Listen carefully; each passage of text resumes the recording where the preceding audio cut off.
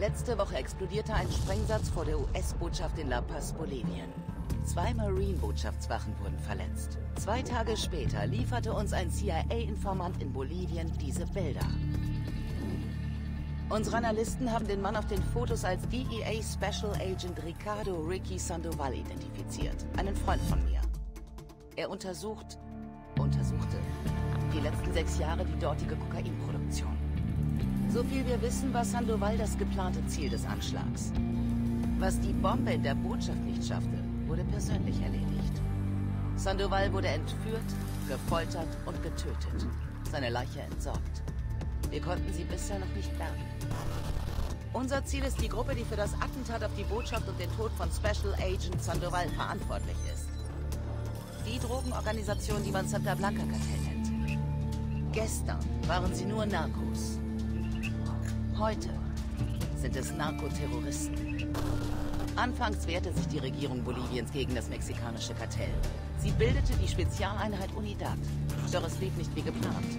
Tausende von Leichen später sind Politiker, Polizisten und Journalisten vom Aussterben bedroht. Die bolivianische Regierung ist implodiert. Da ihm die Optionen ausgingen, einigte sich der neue Präsident. Hört ihr auf, unsere Leute zu töten, dann sehen wir weg.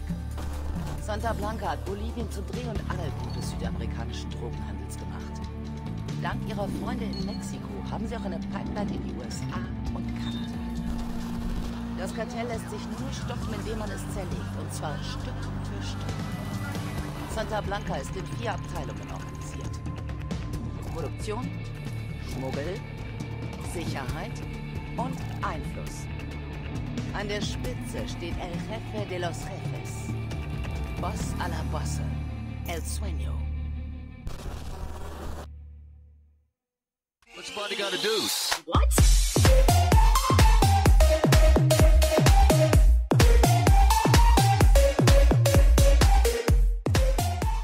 So, und damit herzlich willkommen hier zu einem neuen Video, einer mal etwas anderen Art hier bei mir auf dem Kanal. Und zwar zocken wir Ghost Recon Wildlands. Und wie man das hier unten ganz leicht erkennen kann, in der Closed Beta Version. Denn ja, ich habe Closed Beta Zugriff bekommen, um euch das zu zeigen, wie dieses Spiel denn ist und ob es sich lohnt, sich das vielleicht auch zu holen. Und ähm, wir zocken nachher auch noch den Multiplayer-Modus zusammen mit Yannick. Nur, ja, wir machen jetzt erstmal eine neue Kampagne. Und nur mal so als Info, dass diese Close Beta ist jetzt seit 30 Minuten erst draußen, also ganz frisch.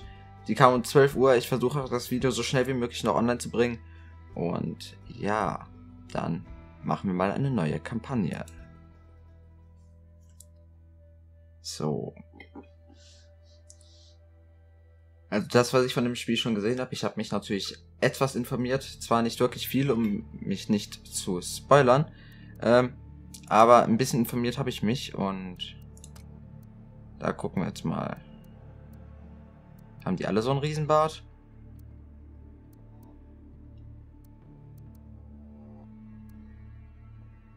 Nehmen wir doch mal den hier so.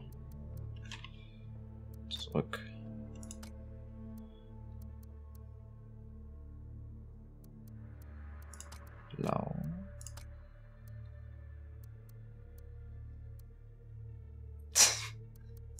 Nehmen wir, glaube ich, lieber keinen. Das sieht nicht so super aus.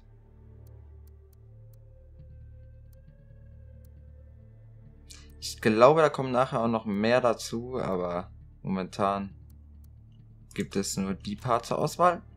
Denn es ist ja, wie gesagt, immer noch die Close Beta und ja, da bleiben wir beim Braun. Gesichtsdetails.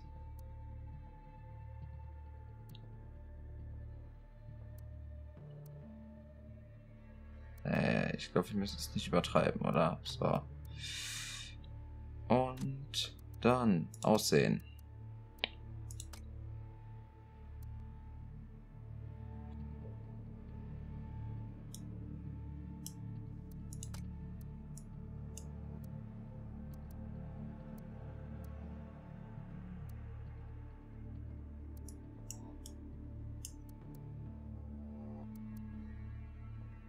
Na, das sieht nicht so gut aus, ne? Kleidung. Oberteile. Ne, ein Hoodie ist, glaube ich, schon gut. Ja, schwarz, oder? Ne, so grün, so tarnfarbenmäßig, oder? So, Weste. Schwerer IBA. Obwohl das auch nicht schlecht aussieht. Ja, aber schwerer IBA ist dann doch. Vielleicht in einer anderen Farbe. Wir bringen jetzt hier schon. Ich nehme jetzt schon seit fünf Minuten auf, nur weil wir hier irgendwas bequatschen und den Charakter erstellen. Wir kommen natürlich auch noch zum Spielen, aber irgendwie finde ich das gut so. Hose.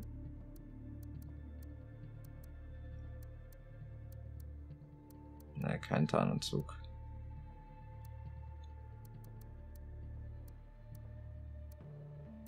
Da finde ich die aber auch gut. Steht's hier? Oh, die, das finde ich gut aus. So.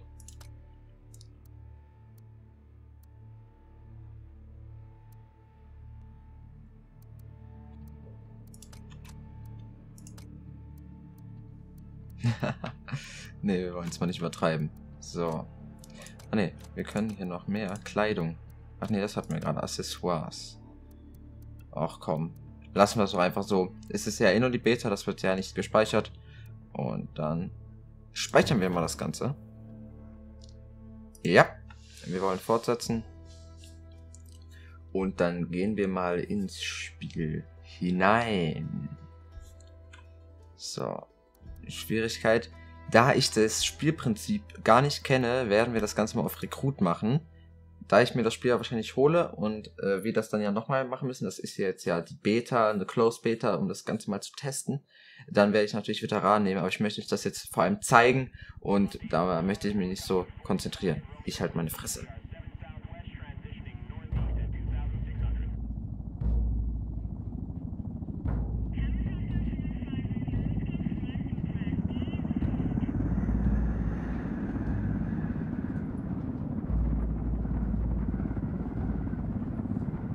Tote Agent.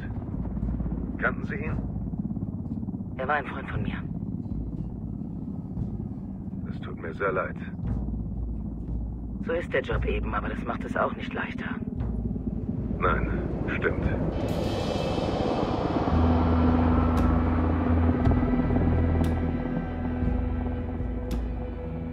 Sie sind wohl schon länger hier. Ich lebe als Karen Bowman, die Entwicklungshelferin, mittlerweile seit etwa fünf Jahren hier. Ist ein hartes Leben, aber undercover komme ich ganz gut klar. Wenigstens haben Sie einen Heli. Wie bist du ins Land gekommen? In der Business Class von Manaus. Bin erholt und einsatzbereit. Ich kam per Anhalter von Barranco in Peru her. Was ist mit dir? Ich komme mit dem Bus aus Jujuy in Argentinien. Hab extra bis Villazón durchgesoffen, damit man mich in Ruhe lässt auf der Fahrt. Das erklärt, warum du so stinkst.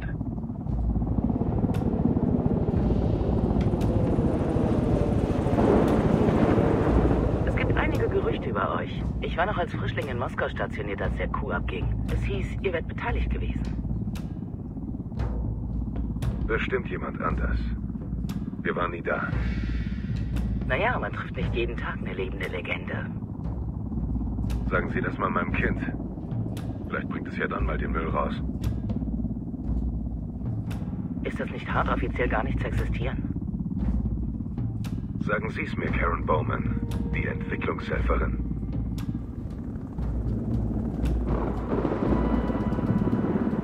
Und Sie haben sicher den ganzen furchtbaren Scheiß gesehen, zu dem Menschen fähig sind, wenn sie nichts zu befürchten haben. Aber eins sage ich Ihnen. Egal wie sehr Sie sich abschotten, sich abhärten, auf El Sueño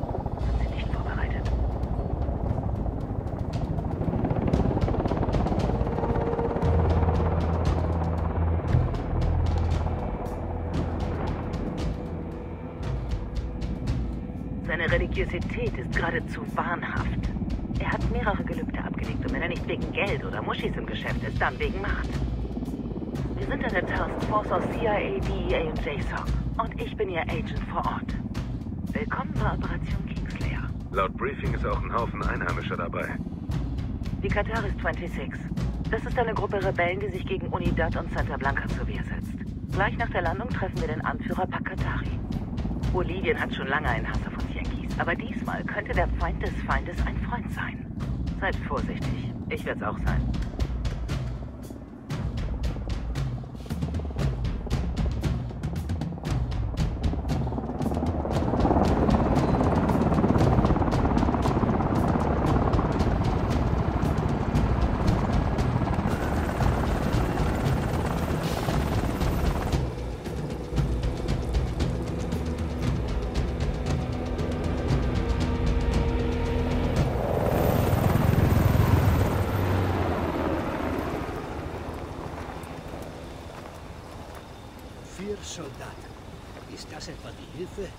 Sandoval versprochen hat?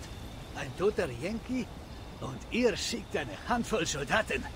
Hunderte Bolivianer sterben durch Santa Blancas Kugeln. Wo soll ich hunderte Kämpfer hernehmen? Die Amerikaner sind gar nicht hier, klar? Diese Soldaten sind die beste Einheit, die unserem Land zur Verfügung steht. Diese vier werden unsere Armee sein. Kennen Sie das Wort Hybris, Senora Bowman? Hakatari, Anführer der Widerstandsgruppe Kataris 26. Wir arbeiten jetzt gemeinsam an der Zerstörung von Santa Blanca. Die Gruppe kämpft bereits seit sechs Jahren gegen Santa Blanca und Korruption. Wir werden uns absprechen. Dafür bleibt keine Zeit, denn wir wissen, wo Amaru ist. Amaru, Sie haben ihn. Amaru ist einer der Gründer von Kataris 26. Mehr als das, die Gruppe stützt sich auf seine Ideen. Und ohne seine Theorien über das Landproletariat gäbe es keinen Widerstand gegen Santa Blanca und die Korruption unserer Regierung. Er muss gerettet werden. Wenn Sie uns jetzt beistehen, werde ich Ihnen mein Vertrauen schenken. Wo ist er? Das wissen wir nicht sicher. Nur, dass er in dieser Provinz ist und dass es einen Santa Blanca-Leutnant gibt, der es genau weiß. Ich werde die ASA anfragen. Vielleicht können Sie Informationen aus dem Funk abfangen. Suchen Sie diesen Leutnant und halten Sie mich über Satellit auf dem Laufenden. Gute Jagd. Die Rettung Amarus ist wichtig für unsere Sache. Bitte töten Sie den Santa Blanca-Leutnant nicht, bevor Sie ihn verhören können.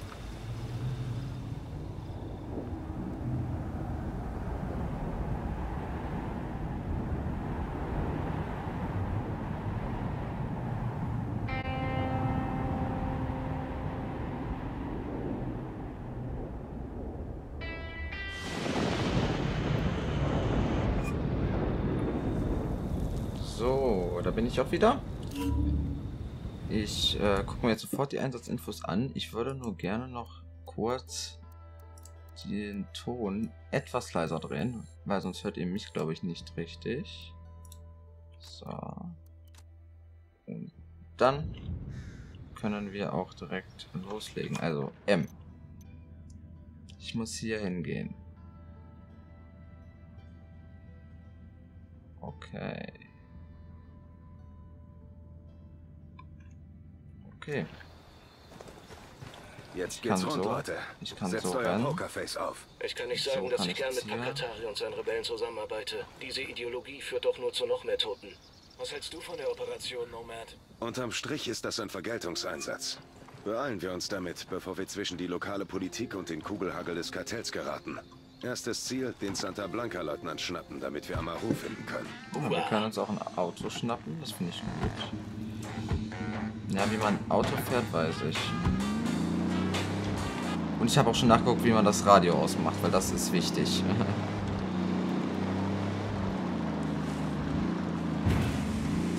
Obwohl das auch unten wieder steht. Oh, das Fahren hier ist aber nicht so einfach. Weil man hat, ähm... Ist immer noch ein bisschen laut der Ton, ne? Ich stelle den noch mal ein bisschen leiser. Da kann ich hier irgendwie...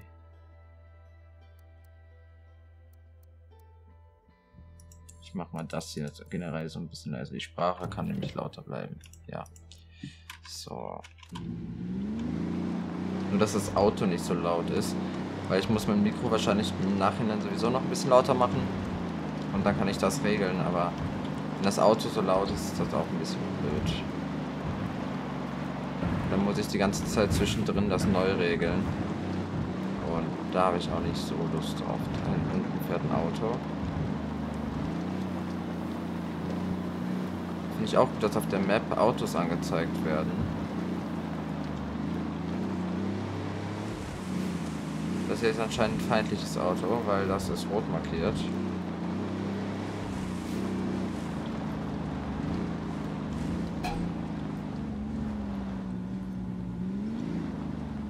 Was war das denn jetzt? Okay, das habe ich jetzt nicht verstanden. Ich versuche mal, da steht jetzt Angriff befehlen, also dass wir das Auto angreifen können. Aber ich lasse das lieber noch. Ich denke mal, ist es hier vielleicht schlauer, das ganz lieber schön unauffällig zu machen. Aber die Grafik ist natürlich ultra hammer, also das ist echt genial. Oh, ihr seht die Map gar nicht. Moment, das ändere ich kurz. Habe ich gerade erst gesehen, dass meine Cam da so schön vor ist. So. So ist es besser. Ist das hier so eine Art Tankstelle oder was? Ah ne, eine Gaststätte.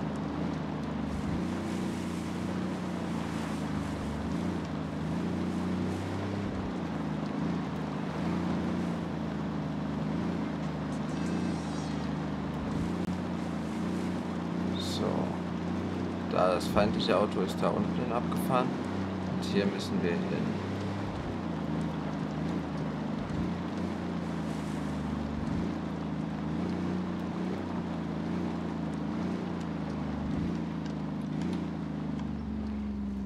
Ich parke hier mal schön ein.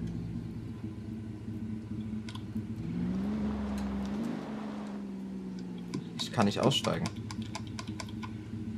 Bereit? Feuer, Feuer, Feuer. Okay. Ah, jetzt. Okay. Kann ich auch schleichen? Also kann ich kriechen. Ah, die typische Rainbow-Steuerung.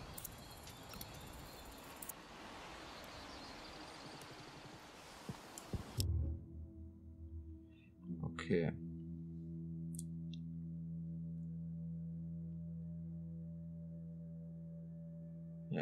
Drücken Sie Y, um eine Drohne zu benutzen und B, um ein Fernglas zu verwenden. Okay. Also B, dann kann ich... Okay, der hat ein Funkgerät auf jeden Fall. Nochmal B. Und ich gucke auch vorsichtshalber mit der Drohne, da- fliegt.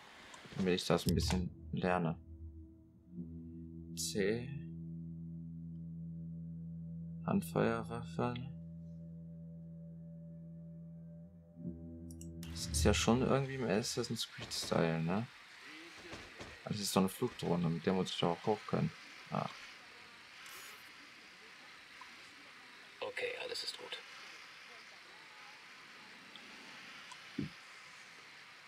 also da steht wirklich nur einer. Und der guckt nicht zu mir. Ja, wie gehe ich aus der Y?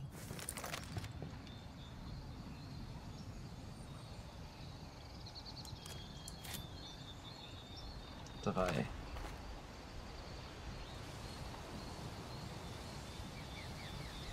Ich habe einen Schalldämpfer hier drauf. Das ist ein Treffer. Arsch. Sollte jetzt okay sein. Ich habe die Waffe. Die Waffe. Ich habe auf allen einen Schalldämpfer, das finde ich gut. Verschrecken wir das Ziel nicht. Schalldämpfer drauf. Feinde, passt auf. Ausschau halten nach dem Kartellleutnant. Er kennt Amarus Aufenthaltsort.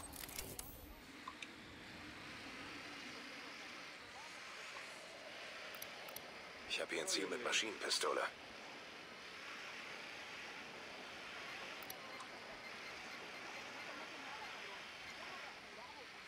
Okay, ich kann nicht zu weit wegfliegen.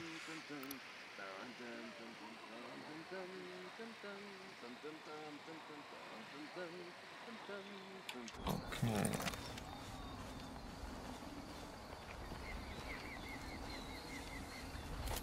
Also jetzt könnte ich wieder eine Drohne benutzen. Sie hat einen Cooldown.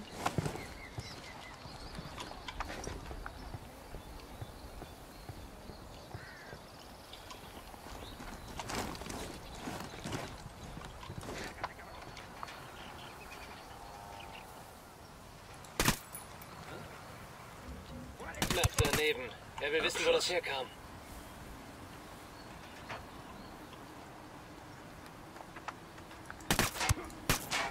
So. Sauber. No mamen. Y ahora esos putos nos están dando con todo desde el oeste. Mándenles otra pinche patrulla ya. Aguanten, cabrones. Hay una patrulla que ustedes. Da sind nur eine Handvoll Gegner.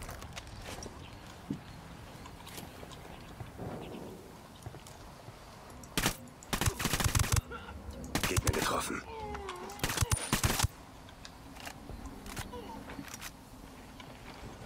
Sauber.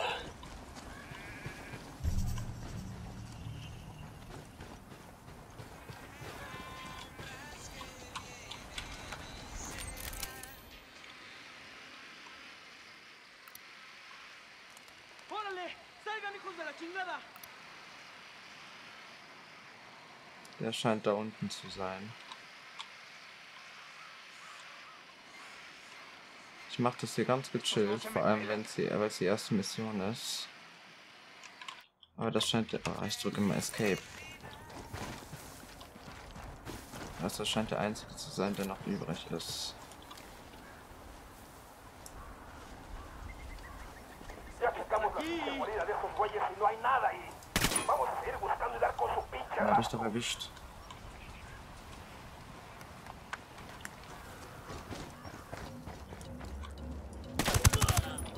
Abschuss.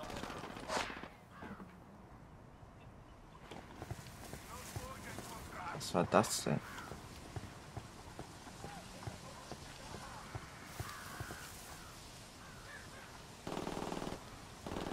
Fuck, greife an.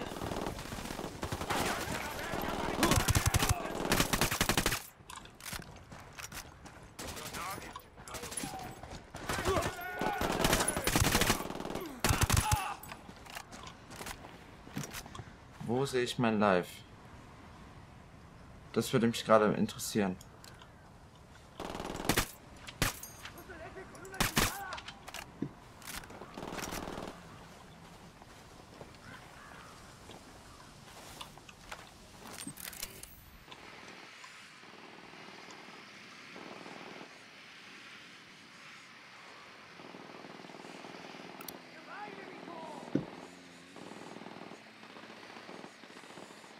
Pero sé que aquí están. Der ist da im Haus. Da ist ein. ein.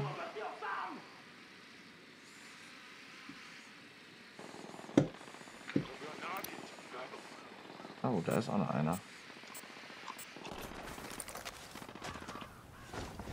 Okay, ich gehe erstmal mal in die Pfeifen.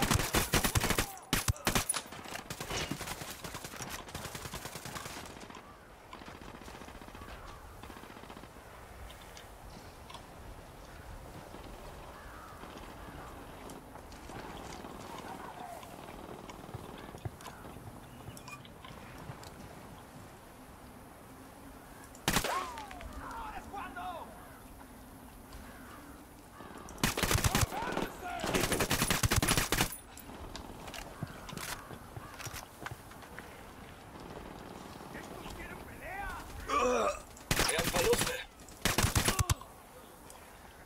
Wo denn?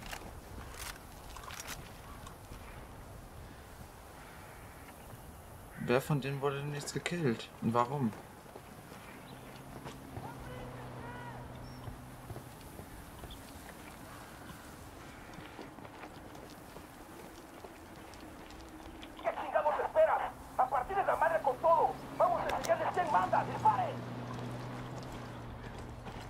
Ja, die ist nicht besser.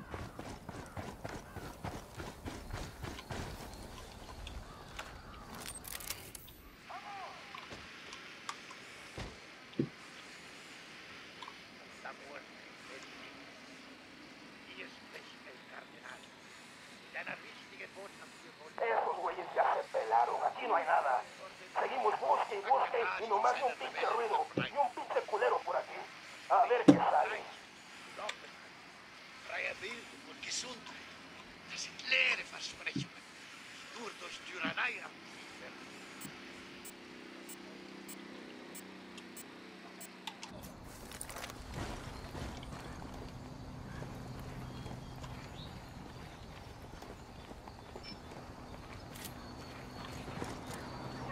Quäl nie wieder Gefangene. Quédate quieto.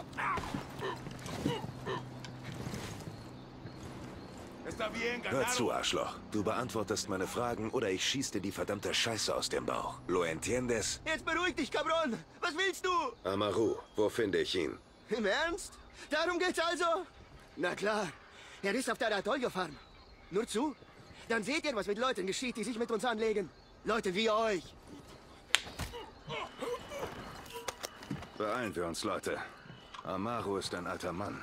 Der hält der Folter nicht lange stand. Shit, wenn die ihn schon länger in der Mangel haben, ist er wahrscheinlich tot.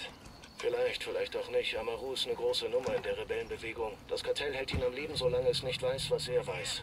Wir können kein Risiko eingehen. Es steht zu viel auf dem Spiel. Los geht's. So, ich würde sagen, das war's mal von der ersten Folge hier. Ich nehme jetzt direkt noch eine zweite auf. Und ich hoffe, die schaffe ich auch noch äh, jetzt bald zu bringen. Und äh, wenn es euch gefallen hat, dann lasst mal ein Like und ein Abo da.